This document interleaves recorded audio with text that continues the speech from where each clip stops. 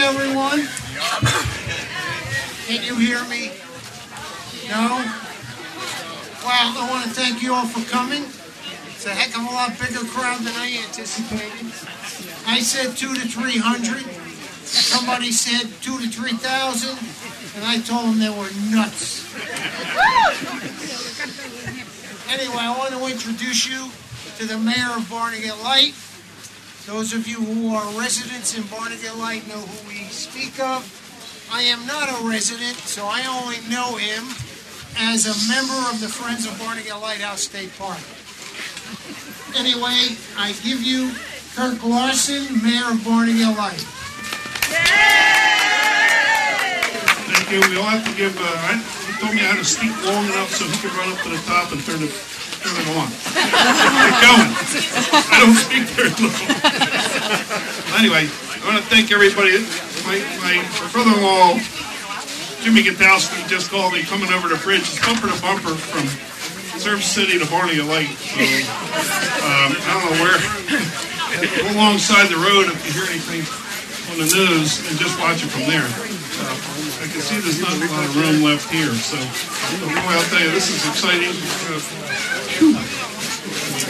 Light has been people in one spot for a long time. But anyway, I'd like to say a few things as a mariner my entire life. This is probably going to be one of the neatest things that, that we've had um, since they put the lights on the White House, was great. But if you think about the 1850s, the 1850s, this was probably something in today's in today's time, like launching a satellite, and uh, just think about it, building something that high on a beach with no railroad, road, no, no nothing. So, and it's still here. And, and then somebody turned it off in 1929. Um, but with all the GPS, satellites, everything that we have available to us as seamen, uh, this is still going to be great. It's still going to be something that it may save somebody's life someday. Who knows? Your boat sinks, they might see the light and swim that direction. Um, it's, it's going to be great for mariners. Just, uh, just to set a course for home when you see it blinking. And uh, you know, one thing Angelo is going to hear is, I don't know if we should give out his home phone number, but should it ever go out, I don't know who we're going to call. So I'm sure they're going to call me. and everybody has my phone number. Uh, when the horn went out on the South Jetty, everybody called me. So uh, well, can all call me again. So uh, I, I just want to say this is probably one of the neatest things going on. Um, I'm proud to be uh, be the mayor at the time it happened. Proud that all you folks actually care this much. It's really, it's really, really good.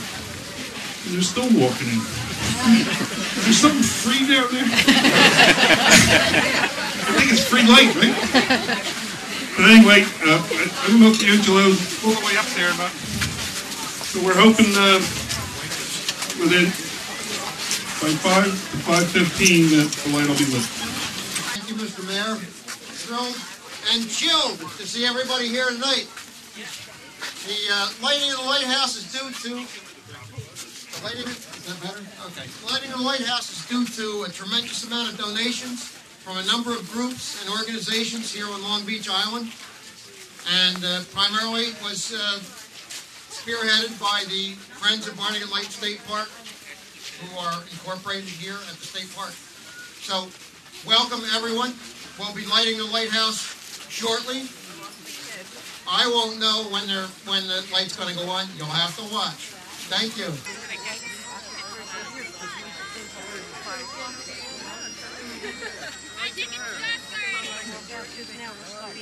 Take a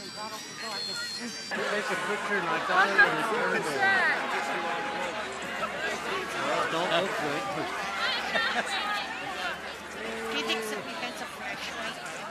That you're using?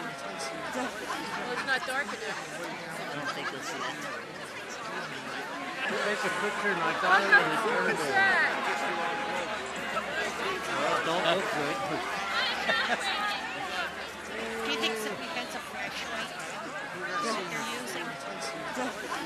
Not dark enough.